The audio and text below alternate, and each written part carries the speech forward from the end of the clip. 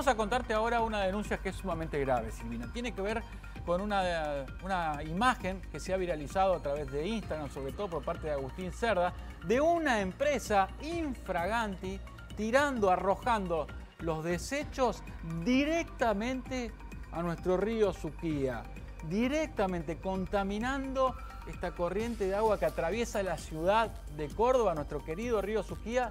Y para conocer más detalles nos vamos a comunicar con Agustín por videollamada. ¿Cómo estás, Agustín? Buen día.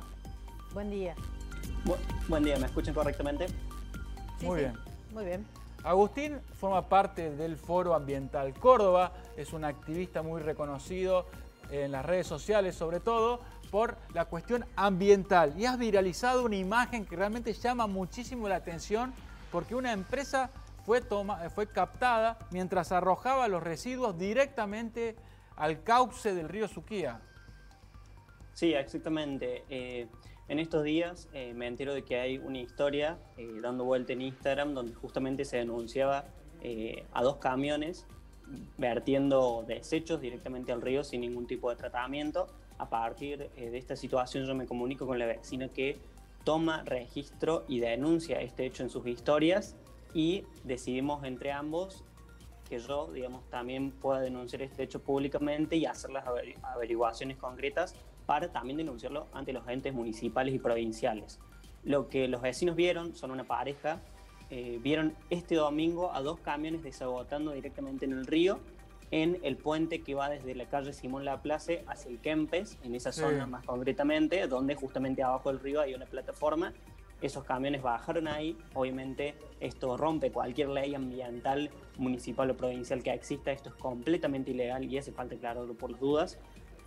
Y al día siguiente, en el día lunes, ven otro camión más que eh, estaba tirando directamente agua blanca al eh, río Suquía. Digamos, esto es gravísimo eh, y no deja de ser otro ejemplo más de la contaminación histórica que viene viviendo el río Suquía desde más de 10 años. Tenemos que tener en cuenta de que hay muchísimos vecinos a los que todavía le faltan cloacas, se producen conexiones clandestinas al respecto y también tener en cuenta que tenemos una planta que debería tratar estas cloacas bajo grande que viene funcionando, digamos, viene funcionando, viene eh, no viene funcionando directamente y está desechando millones de cloacas que debería tratar de vuelta al río eh, sin ningún tipo de, tratamiento. Agustín, mencionaste que hiciste la denuncia ante las autoridades municipales y provinciales de protección ambiental. ¿Qué respuesta tuviste? Si es que tuviste alguna, ¿no?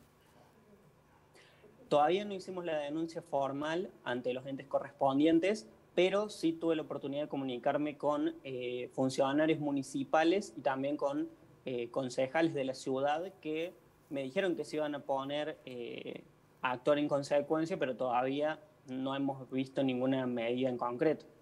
Agustín, ¿cuántos años tenés? Te veo que sos muy joven. Tengo 20, 20 años. 20 años, mira vos, este, este joven que retrató esa noticia con 20 años, la conciencia que tiene, la conciencia que no tienen aquellos que depositan los residuos en el cauce del río Suquía y muchos que no cuidan el ambiente, ¿no? Así es, Agustín, sos muy joven y realmente a uno le llama la atención porque nos falta muchísima conciencia ambiental. El otro día yo circulaba con mi vehículo por la calle de Córdoba y adelante mío veía un auto que bajaba la ventanilla y tiraba una botella de plástico. Ah, viste, es muy Así Es muy chocante eso, pero lamentablemente muchos aún no, tenemos, no, no tienen esa conciencia y arrojan, como has mostrado, desechos directamente al río. Eso es tremendo, Agustín. Sí, la verdad que, que es tremendo. Esperemos que las, que las autoridades municipales y provinciales actúen en consecuencia y lo fundamental necesitamos más fiscalización y más control en el río Suquía. No puede ser que una empresa tenga tanta impunidad como para llevar dos camiones a una zona del río y pueda desechar como si nuestro río fuera un desagüe. Eso es importantísimo aclararlo eh, la verdad que, como bien dicen ustedes, hace falta muchísima educación ambiental, no solamente para la sociedad en sí, sino también para los gobiernos y para las empresas. Eh, ese tiene que ser el camino que todos deberíamos estar siguiendo. Hoy en día no es una política de Estado ni municipal ni provincial para que eso ocurra.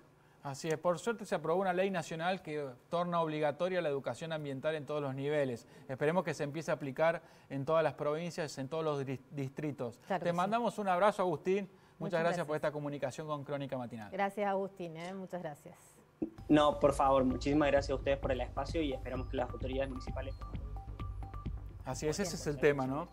Justo ahí se cortó un poco la comunicación, que es la